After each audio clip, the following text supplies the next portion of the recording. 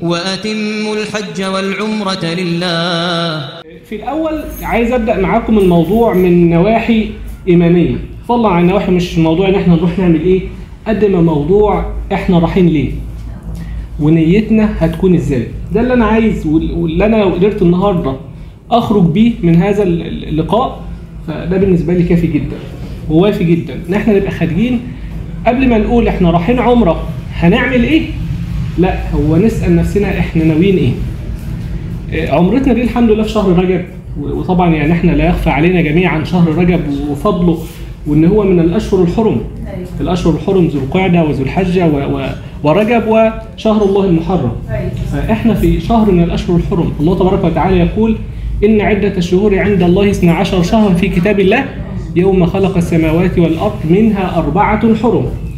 ذلك الدين القيم فلا تظلموا فيهن أنفسكم. فيعني العلماء بيقولوا زي ما ربنا سبحانه وتعالى نهى فيهم عن ظلم النفس يعني عن المعصية وعن يعني التجاوز في في حق النفس وفي حق الغير فكذلك العمل الصالح فيهم بيكون مضاعف. عشان كده لما نروح هناك هتلاقي زحام غير طبيعي. يعني إحنا أصلا كنا هناك في من شهرين تقريبا من شهر فبراير آه، في شهر نوفمبر كانت الدنيا زحمة. قال لك بقى دلوقتي أنت رايح في أشهر من الاشهر الحرم فممكن نلاقي الوضع برضه زحمة شوية. ولكن يعني كما يعني نعلم ال- الأجر على قدر المشقة. كل ما يكون الموضوع يعني متعب أكتر و- ومجهد أكتر فنرجو من الله تبارك وتعالى أن يكتب لنا الأجر وأن يجزل لنا العطاء. فيعني شهر رجب بالمناسبة هو شهر يعني من الأشهر اللي حصلت فيه كمان أمور تاريخية. يعني تحرر المسجد الأقصى على يد صلاح الدين الأيوبي تم في شهر رجب. يعني ده برضه حاجة نسأل الله تبارك وتعالى يعني أن يجعلها يعني شهر سبب في نصرة و- وفتح على المسلمين في فلسطين ونصرتهم اللهم آمين. إيه، إيه، غزوة تبوك كانت في شهر رجب، ال- الإسراء والمعراج كما نعلم في شهر رجب، فهو شهر يعني جميل وعظيم و- ونفحة من النفحات الزمنية. يعني إحنا دلوقتي بيجتمع علينا حاجتين.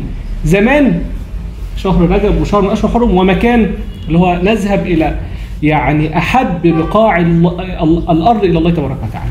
كما قال النبي صلى الله عليه وسلم وهو خارج من مكة والله لأنت أحب بقاع الأرض إلى الله وأحب بقاع الأرض إلي ولولا أن أهلك أخرجوني منك ما خرجت. صلى الله عليه وسلم. فنرجع ونقول قبل ما نقول إحنا رايحين عمرة آه ناخد معانا إيه و و ومش عارف نعمل إيه لا إحنا نيتنا إيه. أول حاجة يا جماعة هي إخلاص النية لله تبارك وتعالى. يعني قاعدة كده في كل الأعمال الله تبارك وتعالى لا يقبل من العمل إلا ما كان خالصا لوجهه. الله تبارك وتعالى في الحديث القدسي يقول أنا أغنى الأغنياء عن الشرك. أنا أنا الغني. هتعمل عمل هتشرك معي غيري؟ تركته وايه وشركه. وتركته وشركه الذي يشركه.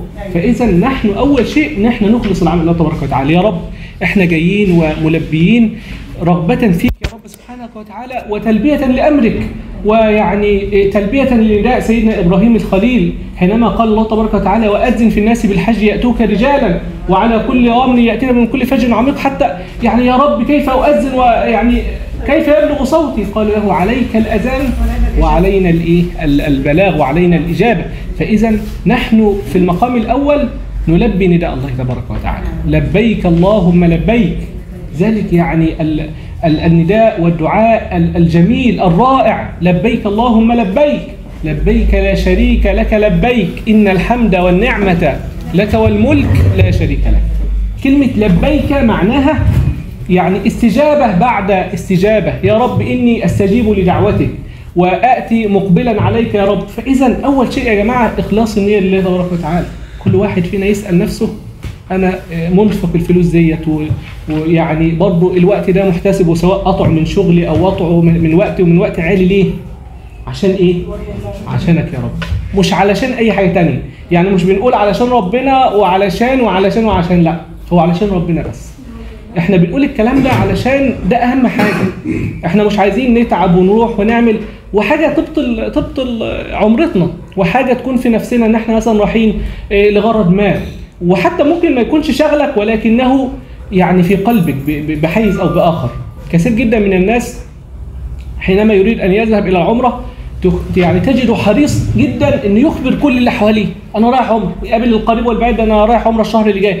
ده مش عارف إيه. ولازم كل الناس تيجي تسلم عليه. واللي ما يجيش يسلم عليه ممكن يعني يزعل منه وربما يعني يدعي عليه في الحرم يعني الموضوع بقى واخد شكل كبير جدا وحيز من تفكير الناس إن لازم الناس كلها تعرف إن أنا في الحرم وآه بقى أول ما يوصل الحرم أصور فيديو لايف وأبعته للناس عشان إيه؟ مندوب النوايا الحسنه وهدعي لهم في الحرم. يعني الكلام ده كله يا جماعة مش بقول لكم إن هو نفاق ولكن هو مدخل. ويعني باب ربما يدخل النفاق على قلوبنا. فإحنا بن- بنحاول نقفل كل الأبواب. مش بقول لك ما تتصورش ومش بقول لك ما ما تنشرش ولكن يعني حتى دي بالمناسبة المفروض دعايه للشركه بس أنا يعني حريص على نيتنا الأول قبل أي شيء إن إحنا مش لازم إن إحنا كل همنا إن إحنا نتصور وإن إحنا نبعت نقول إن إحنا فين وإن إحنا لأ. طالما الموضوع هيدخل على نفوسنا شيء من ال ال ال يعني حب النفس وحب الظهور وحب وحتى بيعطلك. ان إنت تفضل تتابع بقى التعليقات وتتابع ال live ات ومش عارف إيه وال live streaming الحاجات دي كلها عايزين بقدر الإمكان نقللها. قدر الإمكان لحد ما ربنا يكرمنا كده ونستشعر عظمة المشاعر اللي إحنا فيها ونحس كده بالجمال ونحس برهبة المكان وبحلاوه المكان. ساعتها مفيش مشكلة إن إحنا نبدأ حتى نحفظ صور للذكرى عشان نحن المكان تاني وهكذا. فأول نية يا جماعة الإخلاص لله تبارك وتعالى.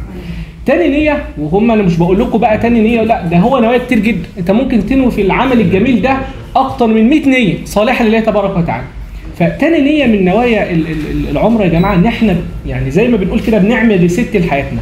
ريست إن أنت بتعمل نوع من أنواع إعادة حياتك كيوم ولدتك أمك النبي صلى الله عليه وسلم يقول العمرة إلى العمرة كفارة لما بينهم. اذا انت انت وأنت بتطوف في البيت كده حوالين البيت استشعر ان انت كده بترجع من ذنوبك ان انت بتتطهر. بالظبط بلاش. ان إحنا بنستجيب لأمر الله تبارك وتعالى. يعني الله تبارك وتعالى أمرنا في بمناسك معينة. أن نذهب إيه، ح- مش مشكلة. الصوت طلع حضرتك سامع يا أستاذ الصوت. طيب تمام. يعني الله تبارك وتعالى أمرنا إيه، في العمرة بأمور كثيرة. نحن لا نعلم يعني ماهيتها ولا نعلم آه، الاستفادة سواء ال- ال- الإيمانية أو سواء العملية منها يعني أنت تطوف تحرم وتطوف بالبيت بكيفية مخصوصة. ثم تسعى ما بين الصفا والمروة بكيفية مخصوصة. لو جيت أسألك أقول لك هو يعني فصل ده من الناحية العملية هتقول لي إيه؟ ممكن ما يكونش ما فيش تفسير. ولكن نحن نلتزم بأمر الله تبارك وتعالى. الله أمرنا بذلك فنحن نفعل ذلك. امتثال لله تبارك وتعالى. قدوتنا في هذا من؟ نبي الله إبراهيم عليه السلام. يعني آه، يعني المؤذن الأول حينما أمره الله تبارك وتعالى وقال له أمره في المنام بأمر. فأصبح يا بني إني أرى في المنام أني أذبحك فانظر ماذا ترى. الله أمرني بذلك. أكون حريص جدا إن أنا أعمل الحاجة ديت. بالكيفية ديت. آه بالكيفية ديت. بالشكل ده من غير ما أعرف ال- ال- السبب ومن غير ما أعرف الحكمة ومن غير ما أعرف الماهية بتاعتها أيوه من غير ما تعرف كل ده. ليه؟ استجابة لأمر الله تبارك وتعالى. الله تبارك وتعالى يقول يا أيها الذين آمنوا استجيبوا لله وللرسول إذا دعاكم. لماذا يا رب؟ لما يحييكم. يعني كل أمر الله تبارك وتعالى والرسول صلى الله عليه وسلم دعانا فيه في الحقيقة في حياتنا. الله تبارك وتعالى قال لما يحييكم. مش لما يتعبكم ولا يجهدكم ولا اللي أنتم ممكن تفكروا فيه إن هو إنفاق وبذل وخسراء. لا خالص. استجيبوا لله وللرسول إذا دعاكم لما يحييكم. فإذا إحنا لما بنعمل هذه الأمور وبنقدس شعائر الله تبارك وتعالى وبنقدس يعني الله تبارك وتعالى يقول ومن يعظم شعائر الله فإنها من تقوى القلوب. أنا لما أطوف بالبيت كده أنا بعظم شعائر الله. لما أجي كده في الصفا والمروة وتلاقوهم في مكان معين بيجروا كده لوحدهم. سبحان الله. يعني ده التزام واستسلام وانصياع لأمر الله تبارك وتعالى. كما أراد الله سبحانه وتعالى. النية الرابعة يا إخوان هي نية التبتل. إيه هو التبتل؟ التبتل ده معناه الانقطاع لطاعة الله تبارك وتعالى. الانقطاع عن كل ما يشغلك في حياتك إيه سواء عمل سواء أولاد سواء شغل سواء سواء. والانقطاع من ذلك كله إلى الله تبارك وتعالى. كأنك بتقول يا رب أنا هسيب كل حاجة هسيب كل حياتي هسيب كل اللي ورايا كل حاجة تشغلني عنك وأفضل الفترة ديت معاك. حد يقول لي يا عم ده أسبوع؟ والله ولو دقيقة ولو يوم ولو يعني ساعات معدودة طالما أنها لله تبارك وتعالى فهي يعني وطبعا انت- أنتوا عارفين فضل المكان وفضل الزمان. إن دقيقة فيه ليست كسنة في أي في أي مكان تخيل ال- الركع ال- الفرض فيه بمئة ألف صلاة. أنت عايز إيه تاني؟ تخيل بقى أن أنت في الشهر الأسبوع ده تنقطع لعبادة الله تبارك وتعالى واللجوء إليه والحرص على مرضاته سبحانه وتعالى. لا شك أن هذا سيضيف إلى إيمانك. وسيضيف إلى ميزانك وسيرزقك الله تبارك وتعالى به الخير في الدنيا وفي الآخرة كما سن- سنوض- سنوضح إن شاء الله. فإذا التبتل هو يعني لا رهبانية في الإسلام طبعا ولكن هو أشبه ما يكون بالاعتكاف. نحن بنعتكف إلى الله. يعني اللي رايح بقى ومستني يتابع يعني مباريات مصر هناك ويشوف المنتخب عمل إيه. لا انت أنت لازم تظبط نيتك شوية. المكان ده مش مكان لكده. ممكن تعرف النتيجة وخلاص. إنما المكان ده انت أولى بكل دقيقه فيه وأولى بكل لحظة فيه أن تعيشها مع الله تبارك وتعالى وأن يعني تكون في طريقك إلى الله سبحانه وتعالى. النية ال- الخمسة يا جماعة هي نية الهجرة إلى الله. يعني إيه نية الهجرة إلى الله؟ أنت الوقت في مكان آه، ربما أخطأت ربما أذنبت ربما يعني عصيت الله تبارك وتعالى وكلنا ذو خطأ. أنت تنتقل بقى تقول يا رب إني مهاجر إلى ربي سيهدين. أنتوا عارفين قصة الرجل الذي قتل 99 نفسا وبعدين يعني حس بالذنب فقال يا رب أنا أنا عايز أتوب. فسأل سأل عابد فالعابد ده قال له لا أنت خلاص أنت كده أنت أه أنت كده خرجت من اللعبة وقفلت خلاص وممنوع إن أنت إيه فقتله فأكمل به فذهب إلى عالم دلوه على عالم. فذهب إليه قال له ومن يحول بينك, بينك وبين التوبة؟ ولكن إن أرضك هذه أرض سوء. فاذهب إلى أرض كذا وكذا فإن بها أناس صالحون يعبدون الله فاعبد الله معهم كذلك نحاول نطبق السيناريو ده علينا. إحنا يعني هنا عصينا الله سبحانه وتعالى ويعني الجو العام في, في أي مكان جو معصية وجو يعني شهوات وشبهات فإحنا بنقول طالما المكان أرض سوء آه، اذهب. بنذهب إلى مكة. نعبد الله تبارك وتعالى أسبوع كامل من العبادة والطاعة. لا تلتقي في هذا المكان إلا كل يعني قائم ومصلي وراكع وساجد لله تبارك وتعالى. إحنا يعني أنا فعلا الفترة اللي سافرتها الواحد احتقر نفسه بجانب الناس دي قاعد في في الكعبة قاعد فرحان وماسك الموبايل مش عارف وغيرك جنبك واحد بيعيط واحد بيبكي واحد بتنهال عنه الدموع واحد يبتهل الله تبارك وتعالى بالدعاء ويعني كل هذه الأمور تجعل ال- الإنسان يعني يحتكر نفسه. ويقول إحنا فين يعني فعلا والناس دي فين ويحاول أن يجتهد ويتقرب إلى الله تبارك وتعالى بالطاعة وبالدعاء وبالتقرب إلى الله تبارك وتعالى. النية السادسة يا جماعة ونية تهمنا جميعا وهي نية السعة في الرزق وفي الصحة وفي المال وفي الأولاد الله تبارك وتعالى يقول يا أيها الذين آمنوا لا تحلوا شعائر الله ولا الشهر الحرام ولا الهدي ولا القلائد ولا آمين البيت الحرام يبتغون فضلا من ربهم ورضوانا فالله تبارك وتعالى وضح حتى أن الناس الذين يقصدون هذا البيت يبتغون ماذا؟ فضلا من الله ورضوانه. الفضل هو الخير وهو السعة في كل شيء في المال في الصحة في الأولاد. طب مال إيه ده؟ ده أنا صارف فلوس ده أنا عاد صارف أكتر من 30 ألف جنيه. تقول لي تقول لي رزق وسعة. الله الرسول صلى الله عليه وسلم يقول تابعوا ما بين ال- ال- الحج والعمرة فإنهما ينفيان الفقر والذنوب كما ينفي. فإذا الرسول صلى الله عليه وسلم ده وعد من الرسول صلى الله عليه وسلم. الصادق المصدوق أن العمرة إلى العمرة تكفر ما بينهما من ذنوب. ربما كانت عمرتك هذا سبب في يعني فضل من الله وسعة رزقك في الدنيا وفي الآخرة من ال- الأفضال ومن الخير ومن البركات في الصحة وفي المال وفي الولد وفي غير ذلك.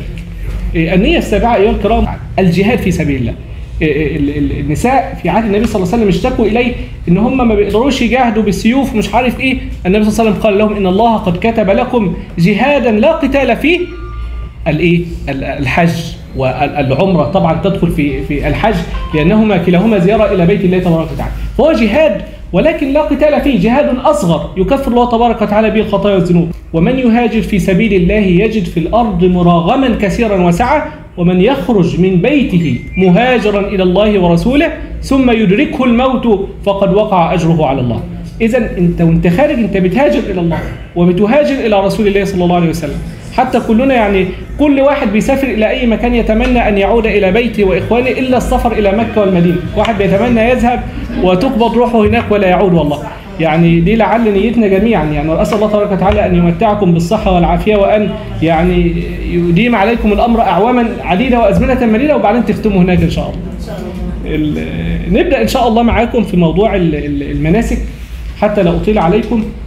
بس نرجع ونلخص الموضوع كله إن النية يا جماعة أهم شيء.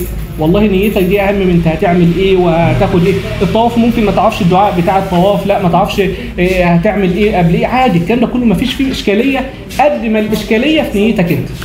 تمام؟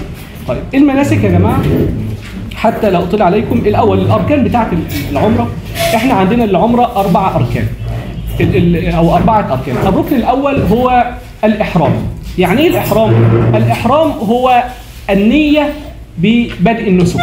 يعني إيه النية ببدء النسك؟ أنت دلوقتي أنت دلوقتي نويت إن أنت تعمل عمرة. خلاص؟ أول حاجة هتعملها إيه؟ إن انت خلاص أنت دلوقتي هتخرج مثلا أهوت ولنفرض النهارده هن- هنخرج للمطار ورايحين على مكة على طول. يعني سيبك من إن إحنا جبت جزئية إن إحنا رايحين المدينة. أنا رايح دلوقتي على مكة على طول. هعمل إيه؟ أول حاجة إحنا بنفكر فيها ملابس الإحرام الجميلة ديت اللي بتدل بالنسبة للرجال طبعا اللي بتدل على النسك. فالملابس وجودها وإن أنت تلبس الملابس وتلتزم طبعا بلبس الإحرام وما له من من من من سنن وما له من آداب ده ده جزء جميل. ولكن هو أنت نويت ولا ما نويتش؟ دي النقطة ده الفيصل. يعني أنا ممكن أخرج من البيت النهارده وأنا لابس ملابس الإحرام. لابس خلاص كده ال- ال- الرداء والازار وبعدين أروح المطار. وأنا في المطار أقص ضوافري وأحلق شعري وأعمل كل محظورات الإحرام اللي إحنا هنجي لكم عليها دلوقتي طب إزاي يا شيخ وأنت لابس لبس ملابس الاحرام و و و. أنا لسه ما نويتش. ما نويتش إن أنا أأدي هذا ال- ال- النسك وهذه إيه و- وهذه العمره أول ما أنوي سواء بقى نويت في الميقات أم لم أنوي في الميقات لا ساعتها بقى الوضع هيختلف. طيب هو إيه الميقات ده؟ بصوا يا جماعة مكة الله تبارك وتعالى جعلها بلد حرام وبلد مقدس. فمن عهد سيدنا إبراهيم عليه السلام الله تبارك وتعالى وضع لمكة حدود. يعني الله تبارك وتعالى هو الذي وضع لمكة هذه الحدود مش مش اجتهاد من السلطات السعودية لا الله تبارك وتعالى حط حدود لمكة كده. من على اليمين الكعبة اهي من على اليمين هتمشي كذا كيلو وده نهاية الحرم من هنا. هنا الحد الحرم ومن هنا كذا كيلو. الحدود دي مين اللي حطها مش السلطات السعودية ده ربنا سبحانه وتعالى. لا هي علامات بس كده ما أنا بقول لك أنا أقصد المبدأ نفسه. القيام آه القيام بهذه الأمور أو ال- الأساس نفسه الله تبارك وتعالى هو الذي حدد حد هذا الحرم. طيب اذا أنا دلوقتي عرفت الميقات إن هي خلينا كده نقول إن هي العبارة عن ال ال ال ال يعني الجدار أو ال الإحاطة أو الحدود اللي بتحوط مين؟ اللي بتحرك اللي بتحوط الكعبة. قبل ما أدخل على المكان ده لازم دي بقى ده الإحرام بقى. إن أنا قبل ما أدخل أنوي. تقول لبيك اللهم عمرة عن نفسك. قبل ما تدخل ده ممكن يكون من بيتك أو ممكن يكون من بيتك. ممكن يكون من المطار أو ممكن يكون ممكن يكون في الطيارة أو ممكن يكون في الطيارة. اللي بيحصل إيه؟ إن إحنا مثلا المفروض لو بن- بنحرم وإحنا في, في, الطيارة المفروض بتيجي على والس- والطيار بيقول لك إيه؟ والله ده أنت دلوقتي خلاص هتعدي على الإيه؟ على الميقات. طبعا قبلها بكون لابس ملابس الإحرام لأن شرط الإحرام إن أنا أكون لابس ملابس الإحرام. فاذا وقتها بتقول بتقول لبيك اللهم عمرة عن نفسك. طيب يعني شوفوا الاختلاف. لو فاتك لو انت يعني قلت لك شوف أنت كنت ممكن تنوي من بيتك. لو أنت فضلت في الطيارة قلت لا أنا لازم أنوي. أول ما الطيار يقول الميقات أنوي في الميقات. أقول لبيك اللهم عمرة. عن نفسي أو عن أحد من اللي أنت هتنوي عليه. وعديت. وما فوقتش إلا الطيارة خلاص نازلة. لا ده أنت ساعتها واجب عليك إن أنت ترجع تاخد بقى تاكسي أو تاخد أوبر أو تاخد مش عارف إيه ترجع للميقات تنوي وبعدين تعود تاني. طب لو ما عملتش كده عليك دم وكده كأنك خالفت إيه أو أو ارتكبت محظور من محظورات الاحرام خلاص؟ فإذا ده بيعرفنا أهمية الاحرام إن هي حاجة مش مش بسيطة أو إن هي حاجة إن إحنا نتفاداها ون- ونعدي ومش مشكلة وإن هي في القلب لا. أنت بتنوي وبتصدق مع نفسك. هي النيه محلها القلب ويجوز إن إحنا نحرم من قلب من تقول الله- نويت اللهم عمره عن نفسي. بس لازم تكون فعلا مقرر إن أنت هتقول كده. ليه؟ لأن ده هيحدد. هل يجوز إن أنا اتي محظورة من محظورات الإحرام ولا لا يجوز؟ هل. هل في الوقت اللي أنا لابس فيه كرجل ملابس الإحرام ورايح في الأتوبيس للمطار ومش عارف قاعد بقى القسط ضوافر طويلة هل في الوقت ده يجوز إن أنا أقصها ولا ما يجوز؟ على حسب النية. لو أنا نويت حتى لو لابس نفس الإحرام. نويت قلت لبيك اللهم عمرا خلاص كده. أنا كده كأنك بالظبط يعني أنت دخلت في حرم ال- ال- الملك سبحانه وتعالى. ما عادش حتى لو أنت في القاهرة. تمام؟ طب ما نويتش إلا في المطار. خلاص. نيتك من حيث أقررت بنية البدء في النسك. خلاص؟ إذا الإحرام باختصار جدا. وإحنا في بيتنا لو طبعا هنتكلم علينا الفندق بتاعنا إن شاء الله يكون في, في المدينة. وإحنا في الفندق بتاع المدينة هن هن يعني نتطهر الطهور طبعا بن- بنستحم ونتطهر. وبعد كده بنلبس ملابس الإحرام بالنسبة للرجال بالنسبة للسيدات طبعا مفيش ملابس إحرام ولا حاجة هي ملابسها العادية خالص المحتشمة. وبعد كده بنروح نخرج إلى ماذا؟ نخرج إلى الميقات. وإحنا بملابس الإحرام. طبعا الميقات معروف أبيار علي اللي هو للناس اللي جاية من مكة المدينة بنقف بالأتوبيس أو بالباص العبرة إن إحنا ننوي في هذا المكان. ليست العبرة بالصلاة أو إن إحنا ننزل نصلي. مفيش ركعتين اسمهم ركعتين الإحرام عشان نكون متفقين على المبدأ ده. أمال إحنا بنصلي ليه لما نروح الميقات إحنا بنصلي تحية المسجد. فإذا أنت ممكن بس وأنت معدي في الأتوبيس كده تقول الله نويت اللهم عمرة عن نفسي وعن أو عن أحد من إخواني أو أو ما شابه. وبعدين بنزود يا جماعة شرط مهم جدا إن إحنا نحفظه حتى لو بالعاميه مش لازم نحفظه بنص. تقول فإن حبسني حابس فحلي حيث حبستني يعني إيه؟ العمرة زي ما قلت لكم كده إحنا داخلين في حرمة الله تبارك وتعالى في حرمة الملك حتى اسمه إحرام في قواعد في شروط. انت عارف لما تكون داخل كده ولله المثل الأعلى يعني طبعا في حرمة أمير ولا ملك ولا ولا يعني حتى محافظ ولا ما شابه في قيود كده وشروط. لا ده أنت هتدخل ميعادك الساعة كذا ومش اللقاء هيدوم دي لمدة كذا وهتخرج الساعة كذا. صح؟ وهتعمل كذا وكذا. كذلك الإحرام. أنا أول ما أقول لبيك اللهم عمرة وأنا لابس ملابس الاحرام وقاصد مكة المكرمة كده خلاص لازم اعمل العمرة. لازم اعملها بأركانها. آه لازم خلاص خلاص الإحرام لازم أطوف بالبيت.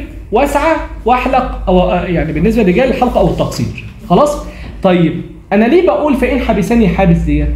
افرض أنا لا قدر الله في الطريق حصلت أي ظروف. مرض. يعني اضطريت إن أنا أرجع لأي ظرف أو ما شابه.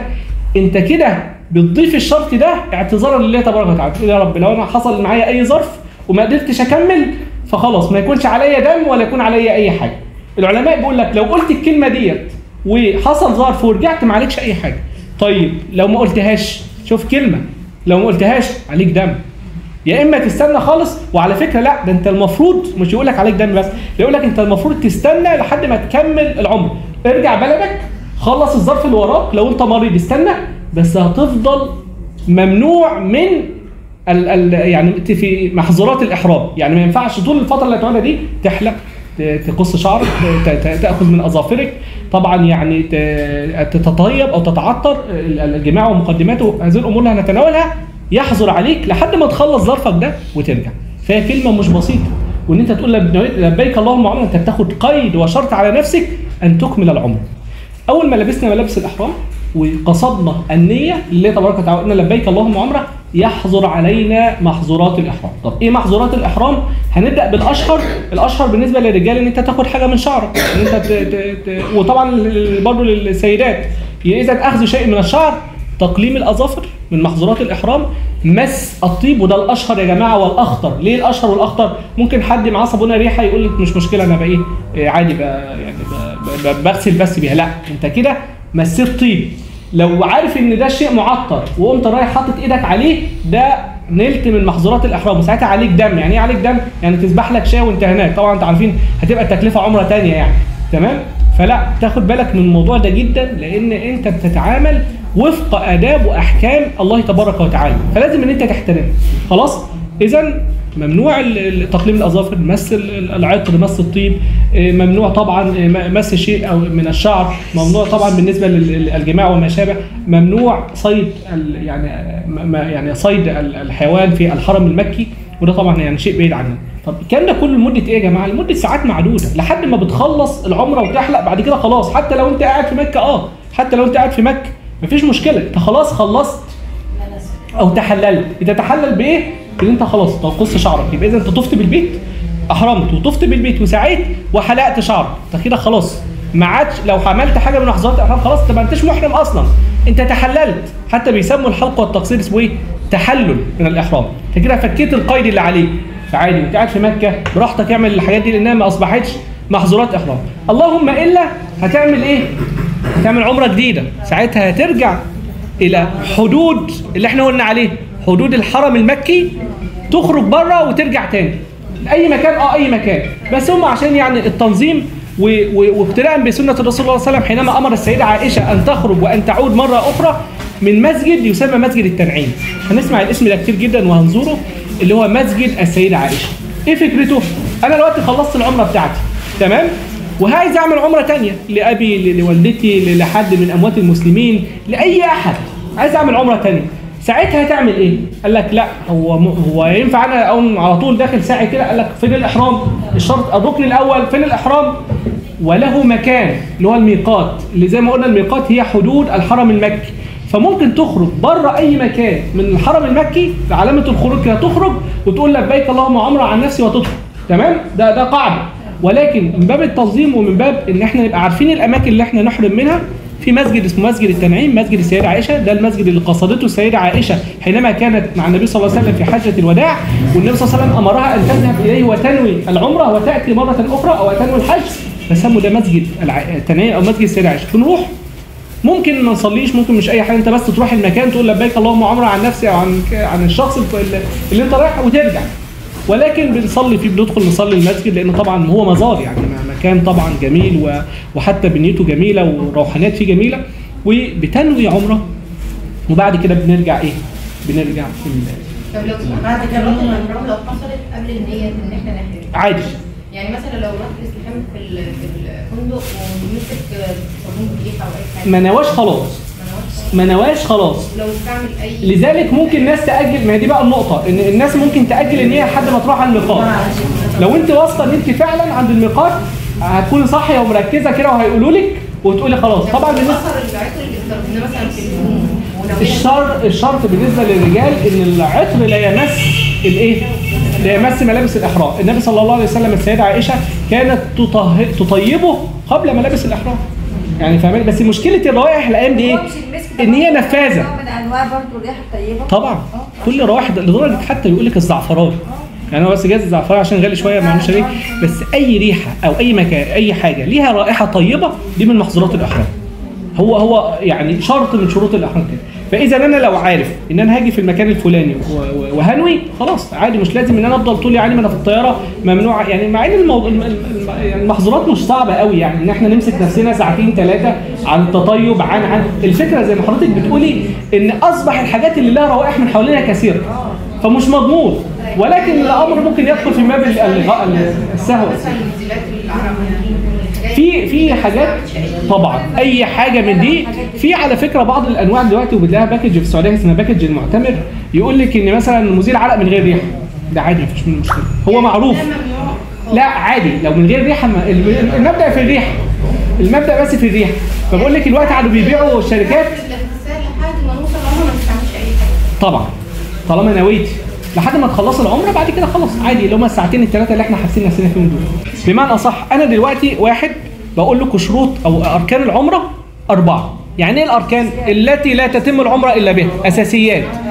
دي اللي أنا عايزكم تكونوا حريصين عليه وفاهمينها.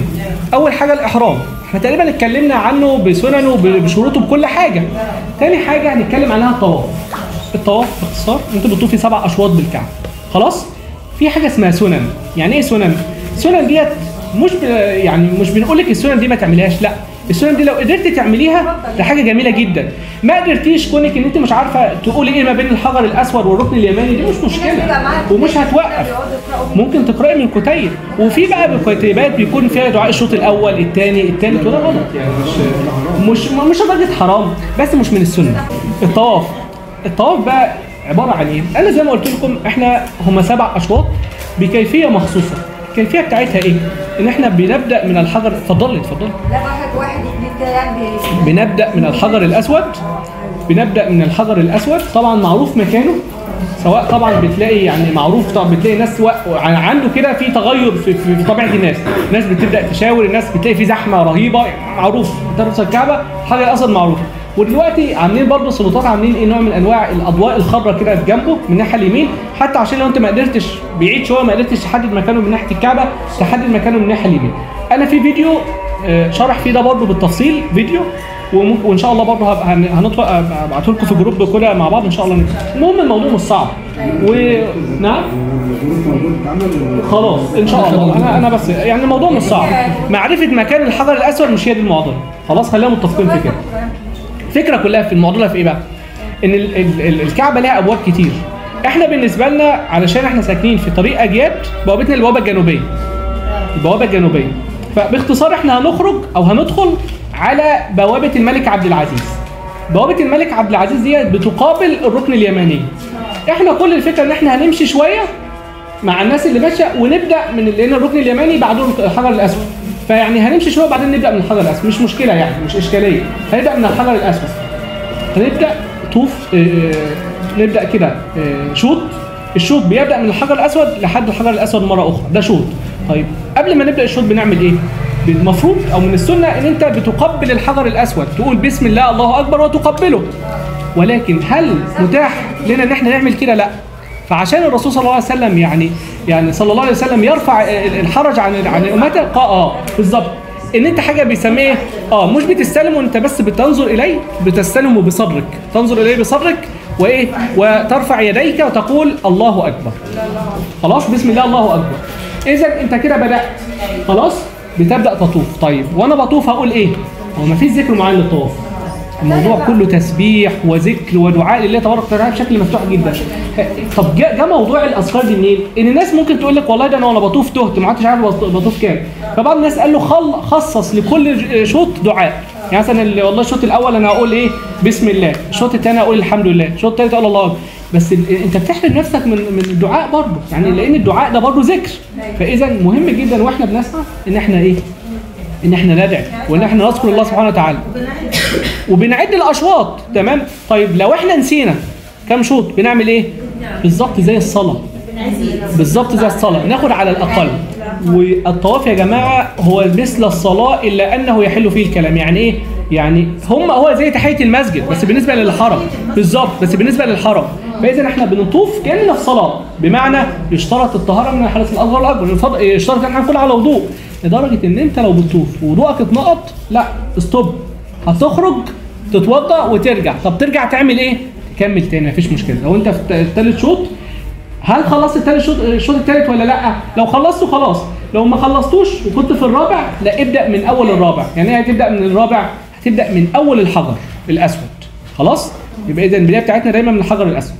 هنطوف مرة واثنين وثلاثة وأربعة سبع أشواط. في ثلاث سنن في في في الطواف اللي هو سنة بالنسبة للرجال الاطباع والرمل. بالنسبة للرجال ان انت الاطباع ان انت بتكشف ال- ال- الكتف الأيمن والرمل ان المفروض بتجري أو بت يعني جري خفيف في الإيه؟ الهرولة في ال- الثلاث أشواط في الثلاث أشواط الاولى ده, ده ال- السنة الثالثة اللي هو ما بين ال- ال- الحجر الركن اليماني والحجر الأسود بنقول ربنا اتنا في الدنيا حسنة وفي الآخرة حسنه وقنا عذاب النار. ده, ده, الدعاء المشهور يبقى اذا ملخص الطواف إن أنت لو طفت من الحجر إلى الحجر سبع أشواط انت كده خلصت الطواف. إحنا شايفين السنة مش صعبه ده معظمها بالنسبة للرجال وبالنسبة للدعاء. ربنا اتنا في الدنيا حسنة. أول ما نشوف الكعبة لنا الدعاء ده آه ده حقيقي. ده في, في عند رؤية الكعبة دعاء مستجاب وفي وعند تقبيل وعند استلام الحجر الأسود. والركن اليماني ده دعاء برضه مستجاب الركن اليماني برضه من السنن يا جماعة إن إحنا نلتزمه. الركن اليماني ده إيه؟ ده برضه ركن من أركان الكعبة. إيه، هو اللي بعده الحجر الأسود على طول. بنلاقي حتة مكشوفة من الكعبة كده. آه ده ده الركن ده كان النبي صلى الله عليه وسلم يعني يلتزمه. يعني إيه يلتزمه؟ يعني يمسكه بيديه صلى الله عليه وسلم. والنبي صلى الله عليه وسلم يقول إن في ملك خالص. ده كله سنة. لو عرفت توصليه ده طيب خلصنا السبع أشواط. بعد السبعة أشواط يسن إن إحنا نصلي ركعتين. بن- بنصلي ركعتين خلف مقام إبراهيم. التزاما بقول الله تبارك وتعالى واتخذوا من مقام إبراهيم مصلى. طيب. هل ورا لازم ورا المقام على طول؟ لا أي مكان. لو مثلا أثناء الطواف دخلت علينا الصلاة برجع أكمل مثلا من ال... يعني مثلا لو أنا في الثالثه مثلا أرجع على الثالثه ولا؟ ارجع الثالثه آه. ارجع الثالثه ابدا من آه من أول الثالثه من أقل من عند الحجر الأسود. تمام؟ وعلى فكرة عايز أقول لكم على حاجة إحنا إحنا ممكن برضو يعني في العمر في العمرة بالذات كنا حريصين إن إحنا نروح في وقت مش هتجيلنا فيه صلاة. عشان اللي بيحصل فيه يعني يعني خصوصا لو معاك حد هتوه أكيد. يعني أنت لو لو معاك لو إحنا جروب وداخلين وقت صلاة مغرب أو عشاء إحنا مش هنشوف بعض تاني. في الحرم يعني. لكن؟ هيبقى في فرق بين الصلاتين مثلا؟ بنتو آه بالظبط. ب- غالبا بنخرج من الفندق عارفين والله إحنا في قبل الظهر بفترة بعد الظهر وهكذا. إن شاء الله. هنكون الخميس بعد المغرب. إن شاء الله ربنا ييسر الحال يعني بإذن الله. يعني حتى ممكن مثلا نطوف وقبل السعي عارفين إن صلاة العشاء هتدخل؟ بنستنى آه ده اول ده أول ما بنشوف الكعبة أول ما بنشوف الكعبة. طبعا إحنا في أمور يا جماعة إن إحنا من أول خالص ما بنخرج من من لبي بنقول لب- بن أول ما بن بننوي بنبدأ التلبية. أول ما بنقول نويت اللهم عمره عن نفسي أو عن فلان بنبدأ التلبية. لبيك اللهم لبيك بالصيغة اللي إحنا عارفينها لحد ما نوصل لفين؟ للكعبة. أول ما بنشوف الكعبة بنقف عن التلبية. خلاص انت كده وصلت لإيه؟ إلى منشورك وإلى ال- يعني ال- التلبية. بتبدأ في في دعاء مقصور انت تقول اللهم زد هذا البيت تشريفا وتعظيما ومهابة وزد من زاره تشريفا وتعظيما ومهابة وبرا. ده دعاء برضه مقصور ويجوز إن إحنا نقول. خلاص؟ طيب. إيه بعد كده هنبدأ. خلصنا طواف. صلينا ركعتين. مقام إبراهيم. هم ركعتين ب- طبعا ب- ب- بامتثالا لامر الله تبارك وتعالى. واتخذوا من مقام إبراهيم مصلى بنقرأ في الأولانية سورة آه، بالفتحة والكافرون وبعد كده الثانية بالفتحة وقل هو الله أحد. من السنن يعني اللي إحنا بنحاول نفكر بعض بيها. بعد كده يسن في الوقت ده بقى إن إحنا نشرب ماء زمزم اللي هو ما بين الساعة ال- ال- الطواف والسعي ده وقت مبارك إن إحنا نشرب في وقت ماء زمزم ومن السنة. وطبعا يعني إحنا عارفين يعني فضل ماء زمزم. بعد ما كنا الأول أي حد رايح يا عم هات لي معاك حتى لو لو قارورة صغيرة قد كده دلوقتي في كل مكان مية زمزم موجودة حواليك. في كل مكان حرفيا ما شاء الله في الكعبة دلوقتي في السعي في كل مكان مياه زمزم موجودة في صورة قارورات كده كبيرة آه، كولمنز وكلام زي كده بيكون محطوط فيها مية زمزم فنشرب في وكما قال النبي صلى الله عليه وسلم ماء زمزم لما شرب له. و... طيب بعد كده ما خلصنا الطواف بنبدأ إن إحنا نروح في المسعى. المسعى ده فين؟ المسعى هو هو جزء من الحرم يعني أنت بتخرج من الحرم مسافة 100 متر فقط بتلاقي نفسك في المسعى. تمام؟ مسعى الصفا والمروة. ال- الموضوع بنبدأ من جبل الصفا. طبعا في هنا دعاء إيه، يعني مأثور عن النبي صلى الله عليه وسلم إن إحنا بنقف وبتلاقي الناس حتى واقفة ووجهها للكعبه والدعاء أمامهم يعني. إيه، الله تبارك وتعالى يقول إن الصفا والمروة من شعائر الله. فمن حج البيت أو اعتمر فلا جناح عليه أن يطوف بهم وطوى خيرا فإن الله شاكر عليه. بنقول الآية ديت ونقول بسم الله نبدأ بما بدأ الله. الله أكبر الله أكبر الله أكبر ثلاث مرات. لا إله إلا الله وحده لا شريك له له الملك وله الحمد وهو على كل شيء قدير. لا إله إلا الله وحده أنجز وعده ونصر عبده وهزم الأحزاب. وحده الدعاء ده يا ريت نحفظه هنقوله ثلاث مرات. هو مكتوب كل الأحوال. ويفضل إن إحنا نقوله ثلاث مرات ويفضل الاكثار من الدعاء. خلاص؟ بنقف على جبل الصفا. هو الموضوع أنتوا عارفين دلوقتي ما أصبحش جبل. هو مجرد بس إن هم منطقة ملساء ومرتفع بسيط جدا. بنقف عنده بنقول المك... الدعاء دهوت وبنبدأ رحلة السعي. سعي ما بين الصفا للمروة شوط ومن المروة للصفا شوط. لما بنوصل المروة بنقول نفس الدعاء إلا إننا ما بنقولش الآية إن الصفا والمروة من شعائر ما بنقولش نبدأ بما بدأ الله إلا إحنا بدأنا من الصفا. بنصل إلى المروة بنقف مستوجهين برضه القبلة حتى بتلاقي الوقوف على المروة يعني مش كتير بيقفوا عليه ممكن تقول الدعاء وأنت ماشي يعني خلاص؟ فعادي الشوط آه، من باب برضه الذكر اللي حوالين الطواف بياخد في المتوسط من خمس دقائق ل 10 دقائق الشوط. في ال- السعي ما بين 7 دقائق ل 10 دقائق يعني تقريبا نفس نفس الموضوع. آه 530 متر المسافة. طيب. صفا للمروه شوط ومن المروة للصفا شوط آخر. بالظبط علشان ما حد في ناس بتعتقد إن ممكن الاثنين شوط واحد. ده ده يعني فيجد نفسه يوصل إلى 14 شوط هو من الصفا للمروة. نعم؟ لو عملنا كده يعني رقم كده مرة لا، هو- يعني بعتبر ده شغل. أنا عملت كده. لا ده ده لا هو هو ده خلاف للسنة وإجهاد ليك يعني. هو ال ال ال الشوط هو من الصفا للمروة شوط ومن المروة للصفا شوط يعني لو إحنا حسبناهم هنلاقينا بننتهي عند جبل الايه؟ عند جبل المروه خلاص؟ طيب. يبقى إذا إحنا كده خلصنا السبع اشهر بعد كده في طبعا منطقة الرمل اللي إحنا اتكلمنا عنها إن يحب فيها الإكس- الإسراع بالنسبة للرجال. هتلاقي الضوء الميلين الأخضرين. صاحبه هو الإسراع. هل في دعاء مخصوص؟ زي ما قلنا ما فيش دعاء مخصوص. للسعي ولا لأي شيء. هو الفكرة كلها إن إحنا ندعو ونكثر من الله من الدعاء. والسعي لا يشترط فيه الوضوء بالمناسبة. يعني السعي لا يشترط فيه الوضوء كما في حالة الطواف بعد ما بنخلص السعي يا جماعة لم يتبقى لنا إلا الركن الأخير والواجب الأخير وهو الإيه؟ التحلل. تمام؟ بالنسبة للرجال الحلق والتقصير طبعا الحلق أولى. الرسول صلى الله عليه وسلم قول يقو- يقول رحم الله المحلقين رحم الله المحلقين رحم الله المحلقين. والصحابة في كل مرة يقولون له والمقصرين يا رسول الله. حتى قال لهم المقصرين. طيب بالنسبة للرجال يعني الحلق يكون من كل الشعر هل هتقدر آه، تحلق لنفسك من كل الشعر لو معاك مكنة حلاق مفيش مشكلة. عادي. طيب بالنسبة للسيدات هتأخذ من الشعر آه، قدر انمله أو أقل؟ يعني ده بتجمع شعرها كله وتاخد منه قدر انمله بهذا نكون قد انتهينا بفضل الله تبارك وتعالى من أداء مناسك العمر. ببساطة جدا والموضوع بينتهي وممكن نقعد في بيت الله الحرام عادي نذكر الله سبحانه وتعالى وندعو. طيب ال- بالنسبة لل- للميعاد السفر بتاعنا إحنا عارفين إن شاء الله إحنا هنسافر يوم هنسافر يوم الثلاث الساعة 7 إن شاء الله نكون مجهزين نفسنا يا جماعة. إن شاء الله أنتوا عارفين الحمولات كام ونظامها إحنا بدأنا نتكلم بقى يا جماعة. الصوت الصوت بس معلش. إحنا دلوقتي الحمولات بتاعتنا آه، شنطتين لكل راكب لكل تذكرة. الشنطة الواحدة من 20 ل 23 كيلو. مش عايزين نزود عن كده. علشان أنتوا عارفين هناك مش عايزين نفضل نفتح شنط وكلام زي كده. طبعا يعني بالعكس يعني يا ريت نخفف على نفسنا والله. إحنا نعم؟ 46 كيلو تحت راجع شنطتين. 46 كيلو تحت على شنطتين وفوق 7 كيلو. على فكرة التات أصلا يعني عشان بس نبقى متفقين إيش كده ك- كمية كبيرة جدا الكيلوات دي. أنت مش هتستخدمهم على فكرة. أمال وانت وأنت راجع برضه هتبقى محملة إيه يعني؟ لحظة أنت هتشتري برضه آه الدنيا سهله ولو في حاجة مثلا في وزن زيادة بندفع ولا حاجة؟ أنت لو أكتر طبعا يبقى هيبقى أسهل. الشنط؟ الشنط يا جماعة بس الشنط أهم حاجة الشنط بتاعتنا. تمام نحطها تحت. تمام؟ ونراعي يا جماعة الناس الكبيره نخليها قدام حتى في كل يعني في الأمور. يعني قد ما نقدر معلش مش تزاحم يعني نخلي الناس الكبيرة حتى التسكين هيكون آه. هم الأول يعني عشان لو هي طبعا الناس الكبيره على قد ما نقدر هنظبطها معلش أنا كشباب هنستحمل. هم ما شاء الله كلهم شباب آه يعني يعني ما شاء الله. يعني ما شاء الله اللي يعتبر فوق معظمهم تمام؟ بس أنا برضه الاولويه للناس الكبيره اللي معايا تمام؟ اطلع تقعد تختار مكانها تظبط أمورها. بس عشان معانا ناس تانية منظومات هتجيلنا يا فندم هنشيل بعض إن شاء الله. آه يعني فاهم؟ أهم حاجة يا حاج. في ناس الساعة 5 منظومات هتتجمع هتجينا هنا عند مستر إبراهيم دكتور إبراهيم. تمام الفرع الرئيسي. فطبعا لازم برضه رايح الحتة دي برضه أنا ما اتاخرش عشان برضه يكون جاية من الفرع الرئيسي بتاعك دمياط الجديدة.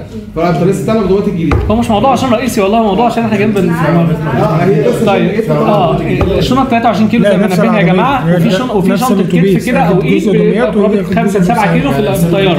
دي ممنوع فيها أي حاجة حادة خالص. الناس اللي بتاخد الميزان معاها. بتاخد قصافة بتاخد معاها مقص مش عارف مية حتى ممنوع الحاجات دي كلها في. الطيارة. وبعدين؟ تكون شنطة عادية خالص. هم اللي هيجوا لنا مش إحنا بصوا يا جماعة. مش وفي مية بتتوزع بصوا يا جماعة بصوا معلش دقيقة بس من وقتكم نكمل بس بقية التفاصيل يا جماعة.